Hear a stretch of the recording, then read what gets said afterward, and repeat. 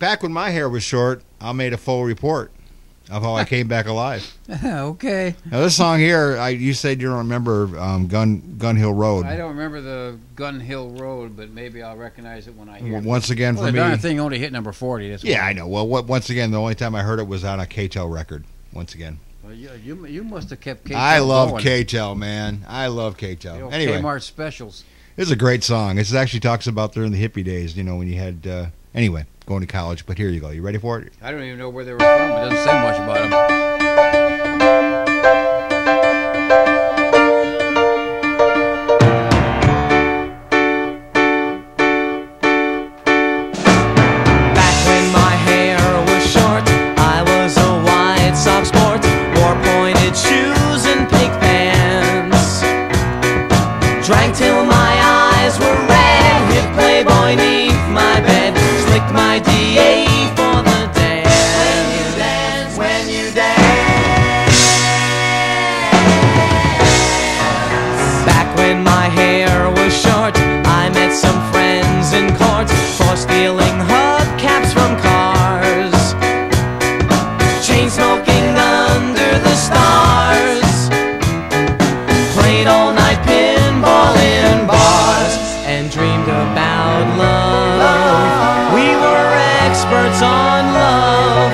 We talked our way all around it.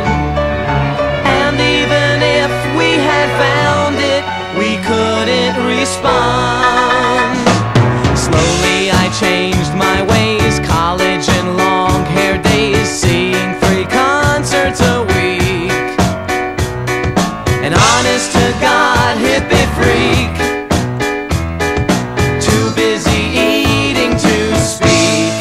Except about love. We held rallies for love, but no one knew what they stood for. How many months were they good for? The meaning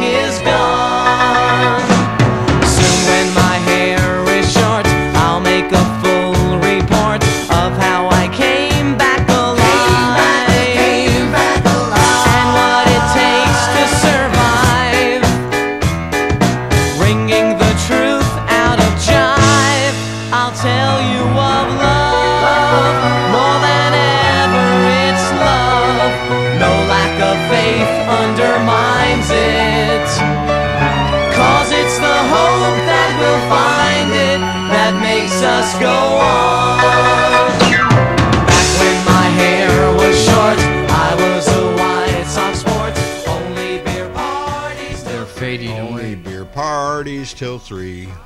It, do, it doesn't say much. It says pop rock trio, Glenn Leopold, Leopold, uh, Gil Roman, and Stephen Goldrich. Yeah, they wrote the song, kind of a novelty song. They did it, and that was kind of it. Like, that's what I get out of it anyway. Back when my hair was short, it only hit number 40 and 73 on the Kama Sutra, la- Kama Sutra label. Uh, six bucks in mint condition. You know what the backside of that song was? What? We can't ride the roller coaster anymore. that probably was another good one too. Yeah, I just I, I always like like I say it was one of those hits that were on the uh the KTEL record that I had. So I was just I just used to love those things. I had those KTEL records, and you'd have what twelve I had 12 a few songs of them. aside. That's where I first got the chicken dance off of. Yeah, 12 an old songs. I mean, they weren't very good quality records, but they were you know you got to Yeah, hear I know. songs. Like I, and I told you the story. I told you the story before. Do that again. yeah, the albums. Yeah. Well, I was as bad as those those RCA ones when they first came out. The Unbreakable, supposedly, and they you put your put the needle on it, and we're going. um, A lot of fun back in the old Oh, days. yeah. Let me tell you. but I mean, that was when I heard. Remember, I was. I think I told you about it before. I heard. Uh, um, uh, Vicki Lawrence, and that's the night the lights went out in Georgia, and they cut a whole por- portion of the song out of of it. Yeah, so I did. didn't even know that the woman, the the, the sister killed him. I it was the guy, and like, wait a minute, I heard the Ronco, you know, the uh, actual record. It's like, wait a minute. Wait a minute. What did I miss something here? Well, just like that song, they cut out the complete beginning of it, the first, the instrumental part. Did they? I, well, like the I said, I, I don't remember the song that well. So, so anyway, just, anyways, we're gonna just go back. reminiscing, man, Yeah, just yep. reminiscing. Gonna go back to England. And OZ reminiscing. Going back to England. Here we go. You ready to do a little Fox on the Run? What? okay, here we go. little little little, Willie. Fox. Oh, this is Fox on the Run. Was it? Oh, fi- oh, okay. Yeah, Little you had you got me confused Fox on the there. Okay. I love this part.